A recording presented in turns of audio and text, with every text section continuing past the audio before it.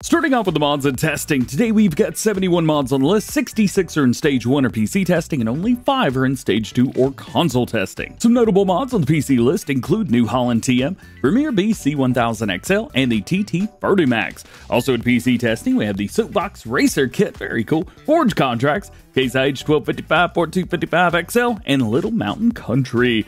Rounding out PC testing, we have the JCB E-Tech Power Pack, Maypole Farm, Chessboard, TLX X3 Series attachments, Mason County, and American Falls. Jumping down to console mods and testing, which, uh, well, I would say down, but uh, two of them are in the PC mods, the Lizard M166 and Lazy Acres Farm. But down at the bottom, we have Milk Tank Extension, Forage Storage, and Pallet additional features. All that being said, we still have 174 mods sitting waiting to be tested, and the current average waiting time for newly submitted mods is about 17 workdays.